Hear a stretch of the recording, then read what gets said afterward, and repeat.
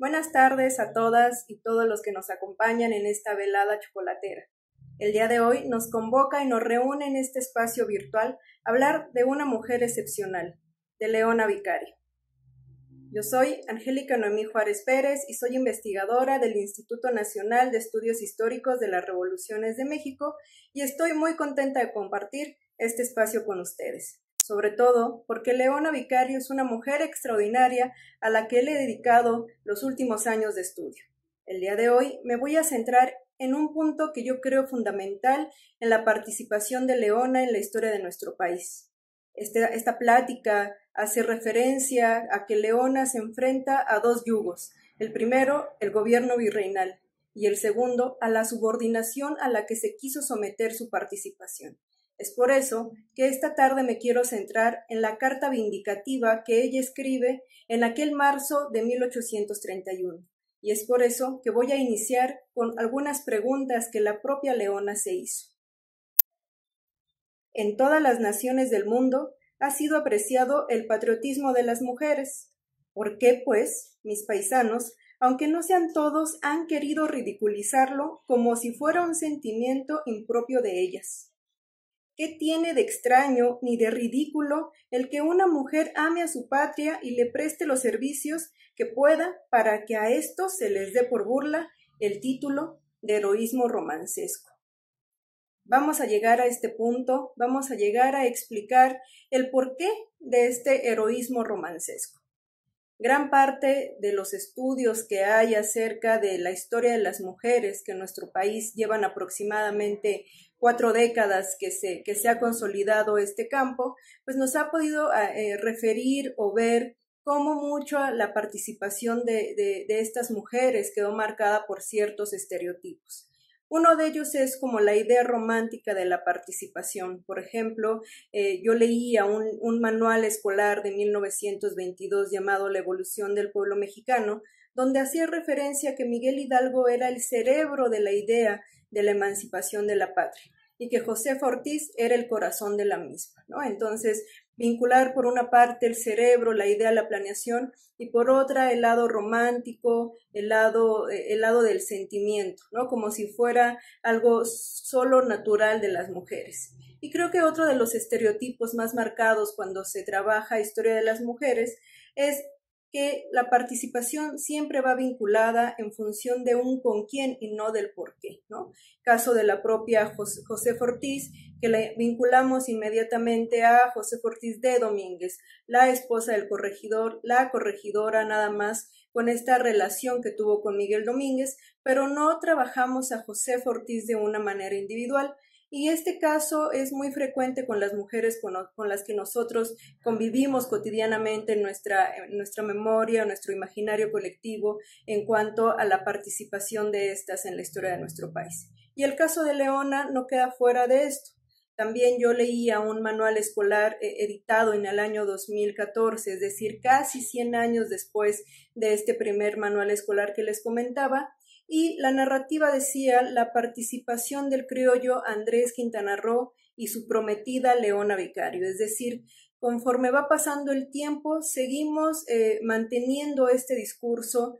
ligando a las mujeres en función del con quién y no del por qué. Y creo que este es uno de los trabajos que Leona Vicario hace muy bien y lo hace hace 190 años, ¿no? Parece una, una fecha sumamente lejana como para que todavía sigamos vinculando muchas veces a, estas mujeres solo en función de la pareja o del lado romántico que si bien gran parte de la participación de las mujeres en el proceso independentista se da por las relaciones familiares, porque eran esposas, porque eran madres, hijas, hermanas, es muy importante cómo se dan este tipo de relaciones eh, eh, de, comunidad. Pero bueno, también es muy importante señalar que no va a ser la única razón. Y creo que Leona Vicario nos muestra aquí y nos da un gran ejemplo de cómo desde hace 190 años allá hace esta defensa pública y nos habla acerca de su participación de una manera voluntaria, decidida y consciente. Entonces, antes de dar paso a esta carta vindicativa que yo creo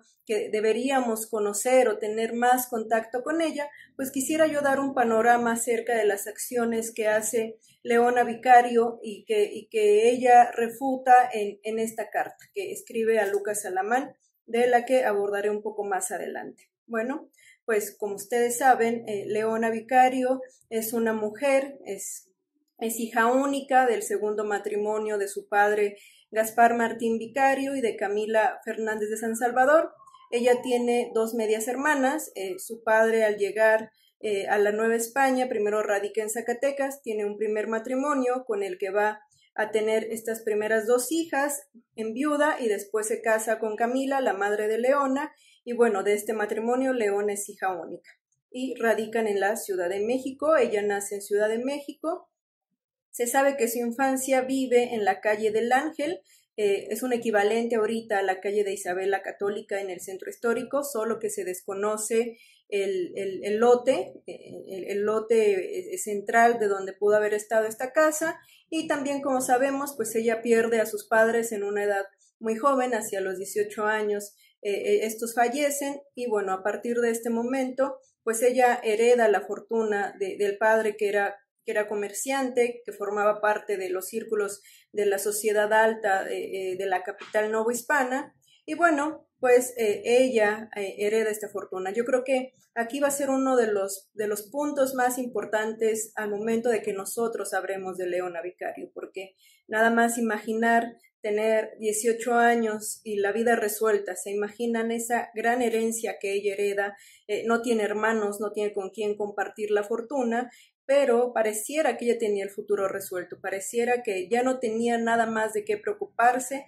y no es así, ¿no? Decide, eh, decide esta, esta herencia, decide esta fortuna eh, años después encauzarla al movimiento de la independencia, que además de todo va a ser una fortuna que va a perder porque sus bienes van a ser confiscados por las autoridades realistas. Bien, pues para el inicio del proceso de independencia, Leona comienza su participación, como bien sabemos, forma parte de la sociedad secreta del grupo de los Guadalupes, en donde se encargaban de suministrar armas, recursos, dinero y sobre todo información. Y esta va a ser como una de las primeras eh, etapas eh, activas o más activas de Leona Vicario, siendo espía y correo de los insurgentes como, como habíamos hecho referencia, ella formaba parte de una élite de la sociedad de la capital no hispana, entonces podía acercarse a ciertas reuniones, eh, a ciertos espacios donde ella escuchaba la información del gobierno virreinal, de las tropas realistas, y de manera inmediata ella la transmitía a los jefes rebeldes, a través de unos códigos cifrados, a través de mensajes eh, cifrados que ella misma crea y que también eh, podemos nosotros localizar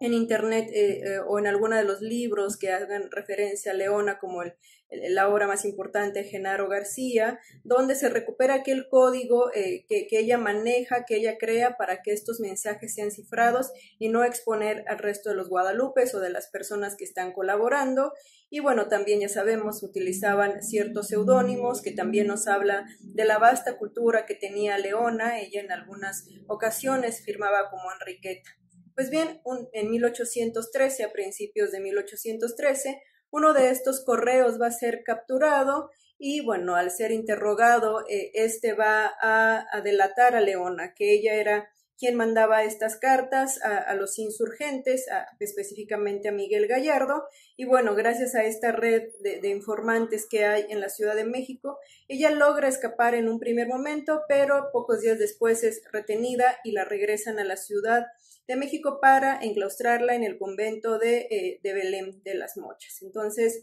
aquí llega otro de los puntos muy importantes porque, como sabemos, ella es sometida a interrogatorios, específicamente a dos interrogatorios donde pues le preguntan quiénes son todos esos seudónimos de las cartas que, que logran interceptar, quién es la monja, quién es doña Bárbara, y ella se va a rehusar en cada una de estas preguntas a delatar a sus compañeros. Y yo creo que aquí viene una de las frases que se encuentran dentro de este interrogatorio que para mí es muy simbólica de Leona. Ella, ella contesta que no va a decir nada de este ni de aquel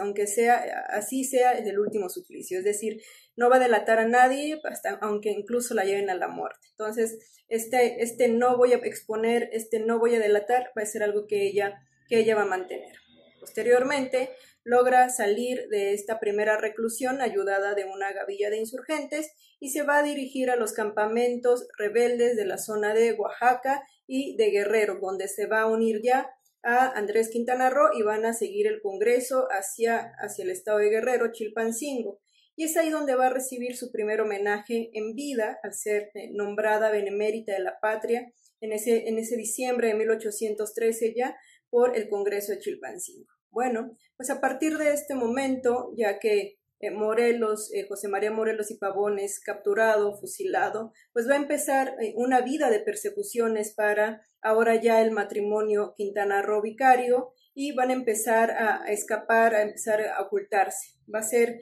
1818 cuando dos ex insurgentes, recordemos que en ese momento una de las medidas de las autoridades virreinales era ofrecer el indulto para que, para que se, bueno, para perdonarlos a, cambio ya de, de, cambiar, de, de, cambiar de bando, de, poder delatar a otros insurgentes, de estar ahora al servicio de los realistas. Y bueno, pues dos ex compañeros los encuentran, los delatan y capturan a, Leona Vicario con, con, ya su primera hija Genoveva. Bueno, eh, los encuentra en 1820 viviendo en la miseria en la ciudad de Toluca y va a ser hasta 1821, cuando allá en los albores de la independencia se les permite regresar a vivir a la Ciudad de México para retomar sus vidas. Andrés ya eh, como sus estudios de, abogado para poder ejercer y eh, ella va a intentar recuperar gran parte pues de los bienes que le fueron confiscados, porque es muy importante mencionar que entre las amenazas que le hicieron en los interrogatorios y los años siguientes en que las autoridades virreinales la estuvieron buscando para ofrecerle el indulto, pues se le notificaba, se le avisaba pues que sus bienes iban a ser confiscados. Y en efecto, así fueron. Toda, toda esa herencia, toda esa fortuna que había heredado a los padres queda confiscada y en muchas ocasiones incluso hasta, hasta rematada, ¿no? Pierde, pierde sus bienes. Entonces, va a iniciar cuando con este nuevo gobierno eh, de la, del México ya independiente, pues ella va a tratar de recuperar algunas de las posesiones o de los bienes que tenía que las autoridades le habían retirado.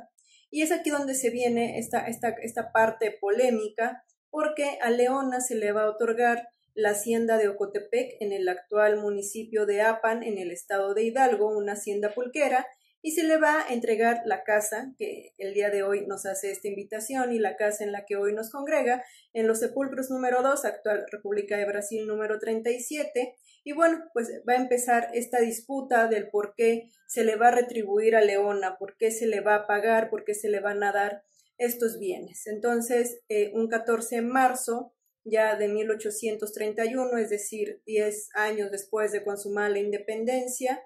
eh, Lucas Alamán, entonces ministro, va a publicar en el, en el diario El Registro Oficial, pues eh, una, una, una referencia o haciendo referencia al que no se explicaba el por qué se le otorgaban estos bienes o estas pertenencias, si lo único que había hecho era actuar por heroísmo romancesco, ¿no? Y, regresamos ahora sí a este punto de que para él lo único que había hecho Leona Vicario pues era el, seguir a Andrés Quintana Roo, era actuar por amor a Andrés Quintana Roo y ella pues yo me imagino,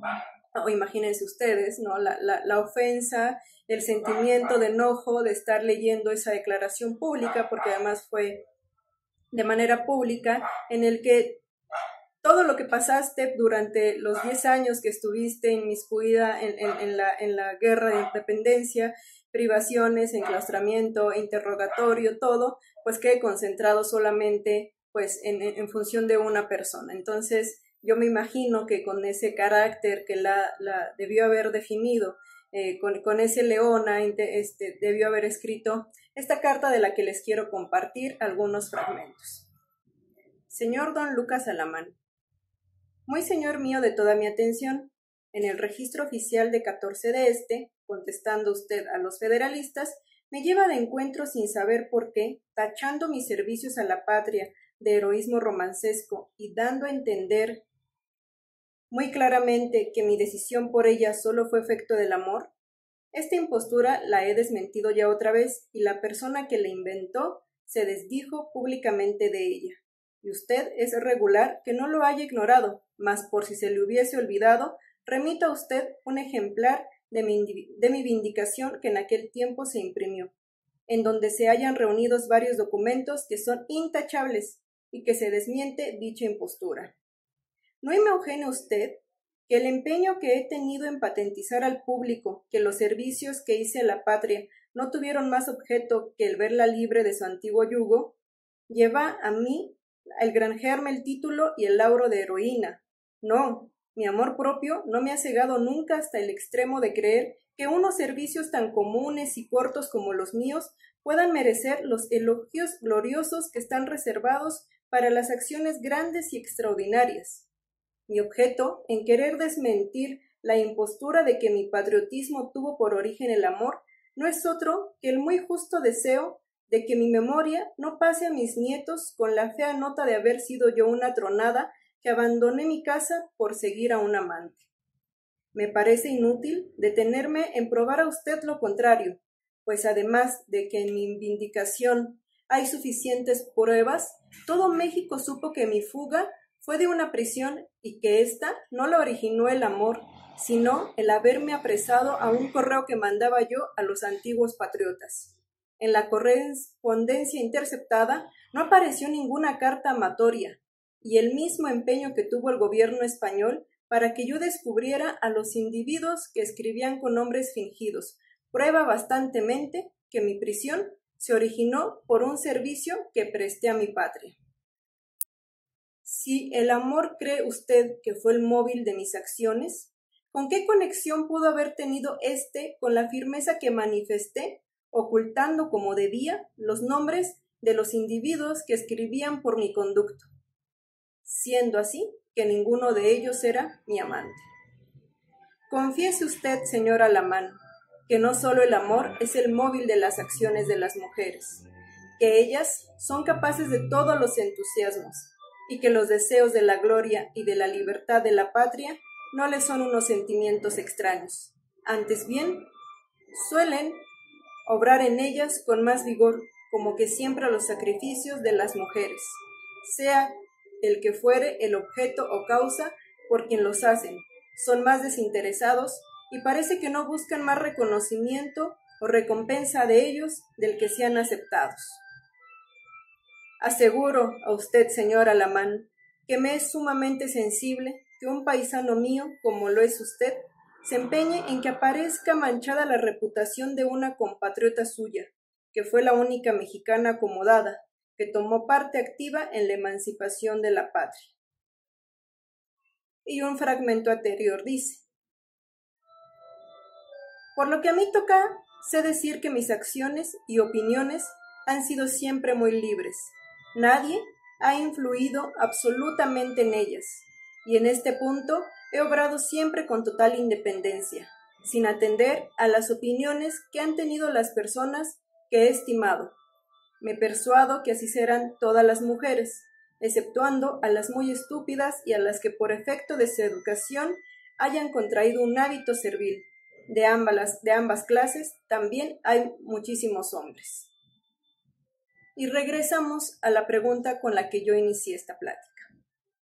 En todas las naciones del mundo ha sido apreciado el patriotismo de las mujeres. ¿Por qué, pues, mis paisanos, aunque no sean todos, han querido ridiculizarlo como si fuera un sentimiento impropio de ellas. ¿Qué tiene de extraño ni de ridículo el que una mujer ame su patria y le preste los servicios que pueda para que a esto se les dé por burla el título de heroísmo romancesco?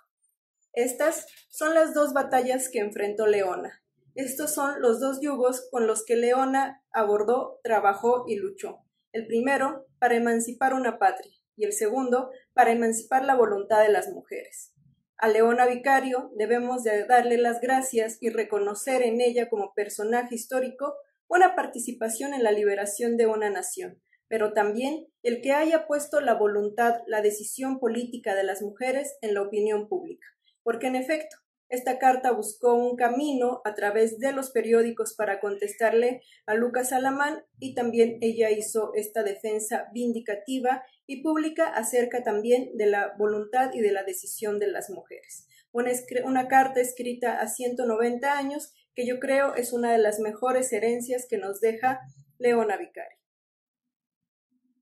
Algo que también es muy importante mencionar es que esta defensa o esta disputa entre Lucas Alamán y Leona Vicario no solamente corresponde a, eh, a, un episodio ajeno del contexto político y social que se vivía en, esos, en esas primeras décadas del México independiente. No era una disputa personal nada más. Eh, recordemos que Lucas Alamán representaba eh, el bando opositor al de Leona Vicario y al de Andrés Quintana Roo. Entonces, eran unas disputas eh, también enmarcadas en un contexto político, mientras unos eran federalistas, eh, otros eran centralistas y estaban en esta eh, decisión y conflictos de cuál iba a ser el camino del México independiente. Entonces, es muy importante también situar esta carta, situar esta defensa en un contexto lejos de lo personal, solamente con un problema con Lucas Alamán, sino que Leona Vicario representaba una forma eh, de, lo que tenía que ser, bueno, Leona Vicario y Andrés Quintana Roo a través de su prensa, de lo que quería ser este México independiente y quienes estaban en ese momento e, en el poder. Entonces, es una carta que también nos ayuda a explicar esos conflictos que se daban al interior de esta naciente, de este naciente México. Espero que conocer esta carta, espero que estos comentarios, esta conversación, esta velada chocolatera haya sido de sagrado y que, pues cualquier duda, ya saben que pueden ustedes externarla a través de estas redes sociales. Muchísimas gracias. Mi nombre es Noemi Juárez. Espero que esta charla haya sido de su agrado.